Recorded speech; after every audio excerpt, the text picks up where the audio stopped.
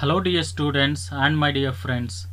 Welcome back to Royson Creations YouTube channel ಆತ್ಮೀಯ ವಿದ್ಯಾರ್ಥಿಗಳೇ ನಾವು ಈ ವಿಡಿಯೋದಲ್ಲಿ ಒಂಬತ್ತನೇ ತರಗತಿಯ ಇಂಗ್ಲಿಷಿನ ಕಲಿಕಾ ಬಲವರ್ಧನೆಯ ಸ್ಟೂಡೆಂಟ್ ಆಕ್ಟಿವಿಟಿ ಬುಕ್ಕಿನ ಯೂನಿಟ್ ಒನ್ನನ್ನು ಅವುಗಳ ಉತ್ತರಗಳೊಂದಿಗೆ ಸಂಪೂರ್ಣವಾಗಿ ಕಲಿಯೋಣ ಬನ್ನಿ. ವಿದ್ಯಾರ್ಥಿಗಳೇ ನೀವು ನಮ್ಮ ಯೂಟ್ಯೂಬ್ ಚಾನಲನ್ನು ಮೊದಲ ಬಾರಿ ನೋಡ್ತಾ ಇದ್ರೆ ಇದನ್ನು ಸಬ್ಸ್ಕ್ರೈಬ್ ಮಾಡಿ ಅಂತ ಹೇಳುತ್ತಾ ನಾನು ಈ ವಿಡಿಯೋವನ್ನು ಆರಂಭಿಸ್ತಾ ಇದ್ದೇನೆ. Unit one point one listen and respond listen to the dialogue read by the teacher ಇಲ್ಲಿ ವಿದ್ಯಾರ್ಥಿಗಳು, ನಿಮ್ಮ ಟೀಚರ್ ಒಂದು ಡೈಲಾಗನ್ನು ಓದ್ತಾರೆ. ಅದನ್ನು ನೀವು ಕೇಳಿಸ್ಕೊಳ್ಳಿ. ನಂತರ ಕೇಳಿರುವ ಪ್ರಶ್ನೆಗಳಿಗೆ ಉತ್ತರ ಬರೀರಿ ಅಂತೇಳಿ ಕೊಟ್ಟಿದ್ದಾರೆ. Answer the following questions question number one what is Sahitya complaining about Sahitya ಯಾವುದರ ಬಗ್ಗೆ ಕಂಪ್ಲೇನನ್ನು ಮಾಡ್ತಿದ್ದಾಳೆ ಅಂತೇಳಿ ಕೇಳಿದ್ದಾರೆ.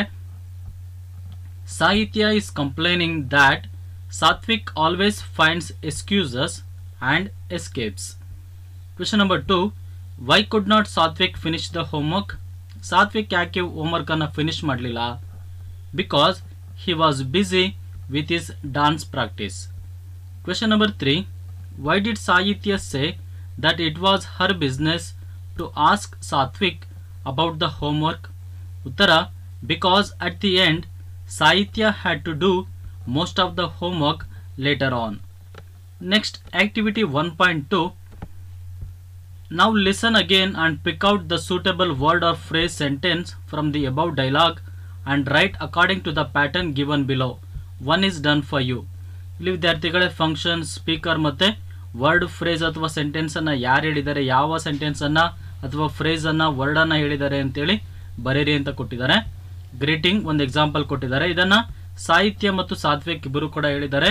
ಅವರು ಬಳಸಿರುವಂತ ಪದಗಳು ಹೇ ವಾಟ್ಸಪ್ ನೆಕ್ಸ್ಟ್ ಕಂಪ್ಲೇನಿಂಗ್. ಇದನ್ನ ಸಾಹಿತ್ಯ ಹೇಳ್ತಾ ಇದ್ದಾಳೆ. ಏನಂತ ಹೇಳಿದಾಳೆ ಅಂತ ನೋಡೋದಾದ್ರೆ you always find excuses and escape ಇದನ್ನ ಅವಳು ಕಂಪ್ಲೇಂಟ್ ಮಾಡ್ತಾ ಇದ್ದಾಳೆ. ನೆಕ್ಸ್ಟ್ ಎಸ್ಕ್ಯೂಸ್ ಇದನ್ನು ಸಾತ್ವಿಕ್ ಕೊಡ್ತಾ ಇದ್ದಾನೆ.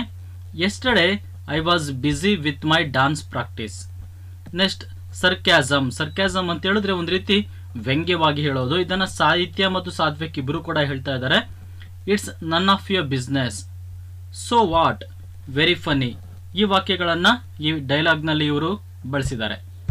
Next activity one point three ask your friends suppose you are in the same situation what would be your excuse to your brother or sister ನೀವು ಈ ಸಿಚುವೇಶನಲ್ಲಿ ಇದ್ದಿದ್ರೆ ನಿಮ್ಮ ಸಹೋದರ ಅಥವಾ ಸಹೋದರಿಗೆ ಯಾವ ರೀಸನ್ ಕೊಡ್ತಾ ಇದ್ರಿ?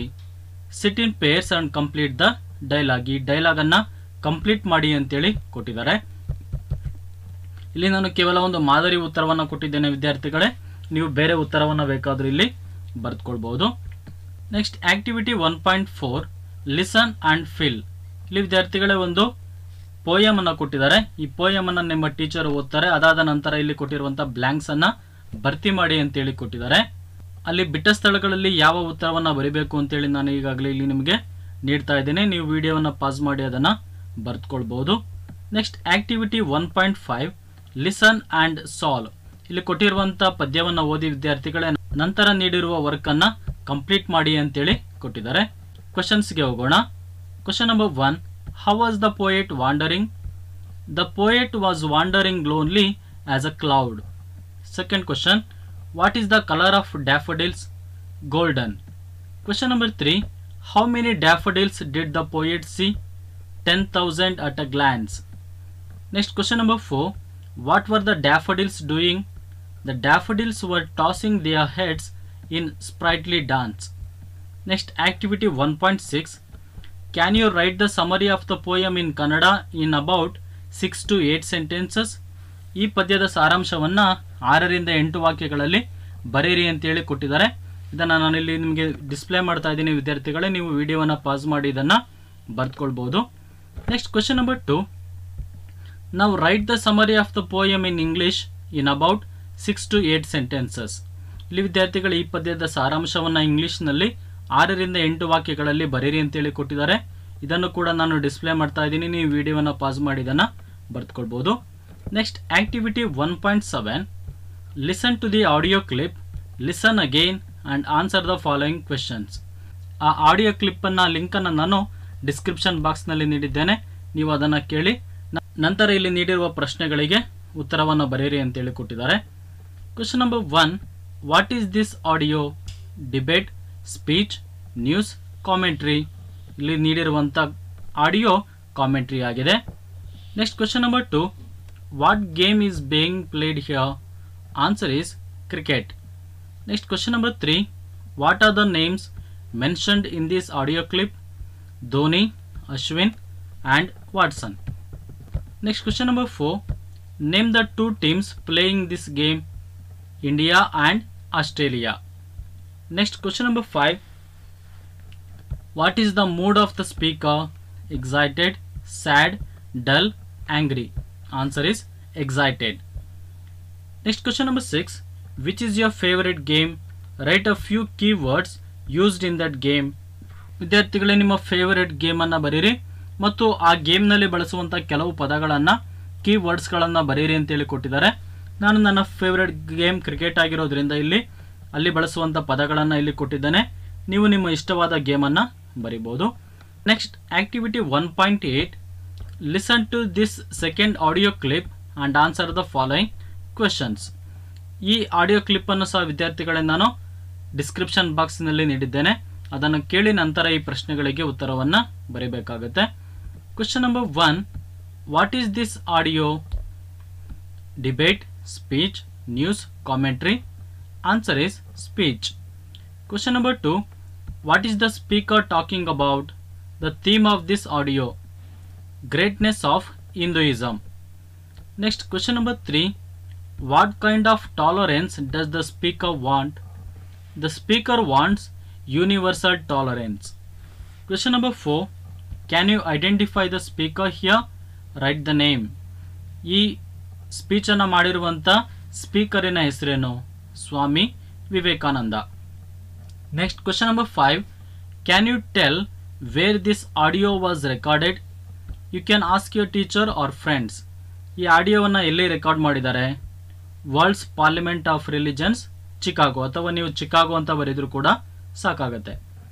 Next question number six name the three countries mentioned in this audio clip India America and Israel activity one point nine now that you have listen to both the audio clips can you tell the differences between those audio clips ನೀವು ಈಗ ಕೇಳಿದಂಥ commentary audio clip ಮತ್ತು public ಸ್ಪೀಚಿನ audio clip ಇದೆ ಅಲ್ವಾ? ಅದರ difference ಏನಿದೆ ಅಂತೇಳಿ ನೀವು ಹೇಳ್ಬೋದಾ? ಮೊದಲನೇದಾಗಿ ಲ್ಯಾಂಗ್ವೇಜ್ ಕಾಮೆಂಟ್ರಿಯಲ್ಲಿ ಇನ್ಫಾರ್ಮಲ್ ಪಬ್ಲಿಕ್ ಸ್ಪೀಚ್ನಲ್ಲಿ ಫಾರ್ಮಲ್ ವರ್ಡ್ಸ್ ಅಂದರೆ ಪದಗಳು. ಕಾಮೆಂಟ್ರಿಯಲ್ಲಿ ಇನ್ಫಾರ್ಮಲ್ ಪಬ್ಲಿಕ್ ಸ್ಪೀಚ್ನಲ್ಲಿ ಫಾರ್ಮಲ್ ಟೋನ್ ಕಾಮೆಂಟ್ರಿಯಲ್ಲಿ ಇನ್ಫಾರ್ಮಲ್ ಪಬ್ಲಿಕ್ ಸ್ಪೀಚ್ನಲ್ಲಿ ಫಾರ್ಮಲ್ ಹೌ ಮೆನಿ ಸ್ಪೀಕರ್ಸ್ ಇಲ್ಲಿ ಕಾಮೆಂಟ್ರಿ ಬಂದಾಗ ಅಲ್ಲಿ ಒಬ್ಬರು ಇಬ್ಬರು ಮೂರು ಜನ ಸ್ಪೀಕರ್ಸ್ ಇರ್ಬೋದು. ಆದರೆ ಇಲ್ಲಿ ನೀಡಿರುವಂಥ ಆಡಿಯೋ ಕ್ಲಿಪ್ನಲ್ಲಿ ಕೇವಲ ಒಬ್ಬರೇ ಇದ್ದಾರೆ. ಹಾಗಾಗಿ ಒನ್ ಅಂತ ಬರೆದಿದ್ದೇವೆ. ಇಲ್ಲಿ ಪಬ್ಲಿಕ್ ಸ್ಪೀಚಿಗೆ ಬಂದಾಗ ಸ್ವಾಮಿ ವಿವೇಕಾನಂದ ಒಬ್ಬರೇ ಇದ್ದಾರೆ. ಹಾಗಾಗಿ ಇಲ್ಲಿ ಒನ್ ಅಂತೇಳಿ ಬರೆದಿದ್ದೇವೆ. ನೆಕ್ಸ್ಟ್ ಪ್ಲೇಸ್ ಕಾಮೆಂಟ್ರಿ ಕ್ರಿಕೆಟ್ ಸ್ಟೇಡಿಯಮಲ್ಲಿ ನಡೆಯುತ್ತೆ. ಪಬ್ಲಿಕ್ ಸ್ಪೀಚ್ ಇದು ಸ್ವಾಮಿ ವಿವೇಕಾನಂದ ಅವರದ್ದು ಸ್ಪೀಚ್ ನಡೆದಿದ್ದು ಚಿಕಾಗೋದಲ್ಲಿ. ನೆಕ್ಸ್ಟ್ ಫೀಡ್ಬ್ಯಾಕ್ ಇದು informal public ಸ್ಪೀಚ್ನಲ್ಲಿ formal next activity one point one zero listen to the announcements twice key points of the announcements or given in column A, write the place of the announcements in column B, one is done for you. ಇಲ್ಲಿ ವಿದ್ಯಾರ್ಥಿಗಳ ಅನೌನ್ಸ್ಮೆಂಟ್ಗಳನ್ನು ಕೇಳಿ ಅಂತೇಳಿ ಕೊಟ್ಟಿದ್ದಾರೆ. ಮೊದಲನೇ ಕಾಲಮ್ನಲ್ಲಿ ಯಾವ ರೀತಿಯ ಅನೌನ್ಸ್ಮೆಂಟ್ಗಳನ್ನು ಮಾಡ್ತಾ ಇದ್ದಾರೆ ಅಂತೇಳಿ ಕೊಟ್ಟಿದ್ದಾರೆ. ಎರಡನೇ ಕಾಲಮ್ನಲ್ಲಿ ಅನೌನ್ಸ್ಮೆಂಟ್ ಅದನ್ನು ಎಲ್ಲಿ ಮಾಡ್ತಾ ಇದ್ದಾರೆ ಅಂತೇಳಿ ನಾವು ಉತ್ತರವನ್ನು ಬರೀಬೇಕು. ಮೊದಲನೇದು ರಿಜಿಸ್ಟ್ರೇಷನ್ ಆಫ್ ಸ್ಪೋರ್ಟ್ಸ್ ಇದು ಸ್ಕೂಲ್ನಲ್ಲಿ ನಡೀತಾ ಇದೆ. Arrival of the train railway station closing of shop shopping mall arrival of a bus bus stand ಅಥವಾ ಬಸ್ ಸ್ಟಾಪ್ ಅಂತ ನೀವು ಬರೀಬೋದು. Airplane take off airplane the script of the audio ಇಲ್ಲಿ ವಿದ್ಯಾರ್ಥಿಗಳೇ, ಈ ಮೇಲ್ಕಂಡಂಥ ಬಾಕ್ಸ್ನಲ್ಲಿ ಏನೇನು ಕೊಟ್ಟಿದ್ದಾರೆ, ಆ ಅನೌನ್ಸ್ಮೆಂಟ್ಗಳನ್ನು ಇಲ್ಲಿ ನಿಮಗೆ ಕೊಟ್ಟಿದ್ದಾರೆ. ನೀವು ಇವುಗಳನ್ನು ಓದ್ಕೊಳ್ಬೋದು. Next activity one point one one listen to the radio news once or twice and complete the table one example is done for you ಇಲ್ಲಿ ವಿದ್ಯಾರ್ಥಿಗಳೇ ಈ ಬಾಕ್ಸಿನ ನಂತರ ನಿಮಗೆ ಒಂದು ಆಡಿಯೋ ಕ್ಲಿಪ್ಪನ್ನು ಕೊಟ್ಟಿದ್ದಾರೆ ಅದು ರೇಡಿಯೋದಲ್ಲಿ ಬರುತ್ತಿರುವಂಥ ನ್ಯೂಸಿನ ಬಗ್ಗೆ ಆಗಿದೆ ಇದನ್ನು ಓದಿ ಪ್ರಶ್ನೆಗಳಿಗೆ ಉತ್ತರವನ್ನು ಬರೀರಿ ಅಂತೇಳಿ ಕೊಟ್ಟಿದ್ದಾರೆ where is this news played at the radio Question number 2. What are the key points of the news? Inauguration of 22nd Youth Festival in Karnataka, flagging of the world's longest river cruise ME Ganga, inauguration of 10 city at Varanasi. What is the name of the newsreader? Srivastava. What would the Prime Minister inaugurate at 10:30 a.m.? The Prime Minister would inaugurate 10 city at Varanasi at 10:30 a.m. ಈ radio ನ್ಯೂಸಿನ script ಅನ್ನ ಇಲ್ಲಿ ವಿದ್ಯಾರ್ಥಿಗಳು ನಿಮಗೆ ಕೊಟ್ಟಿದ್ದಾರೆ next activity one point one two ಇಲ್ಲಿ ವಿದ್ಯಾರ್ಥಿಗಳು news ಪೇಪರ್ನಲ್ಲಿ ಬಂದಿರುವಂಥ ಒಂದು ಕ್ಲಿಪ್ ಅನ್ನ ಕೊಟ್ಟಿದ್ದಾರೆ ಇದನ್ನು ಕೂಡ ನಿಮಗೆ ಆಡಿಯೋ ಆಗಿ ಅಲ್ಲಿ ಡಿಸ್ಪ್ಲೇ ಮಾಡ್ತಾ ಇದ್ದಾರೆ. ಇಲ್ಲಿ ವಿದ್ಯಾರ್ಥಿಗಳೇ ಒಂದು ಪೇಪರ್ ಕ್ಲಿಪ್ಪಿಂಗ್ ಅನ್ನು ಕೂಡ ಇಲ್ಲಿ ನಿಮಗೆ ಕೊಟ್ಟಿದ್ದಾರೆ. Question number one what is this article about Commonwealth Games at Birmingham England question number two who were bearers of the Indian flag Manpreet Singh and P V Sindhu question number three how many athletes participated in the event from India? 106 men and 104 women athletes. Question number 4. Who was the youngest athlete in this team? Anant Singh. Next question number 5. Who was the most successful athlete from India? Sharath Kamal.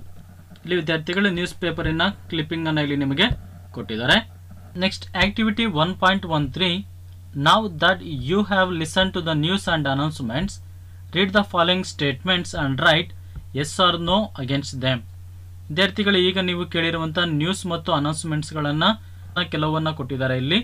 ಅವುಗಳು S ಅಥವಾ no ಅಂತೇಳಿ ಅವುಗಳ ಮುಂದೆ ಬರೀರಿ ಅಂತೇಳಿ ಕೊಟ್ಟಿದ್ದಾರೆ.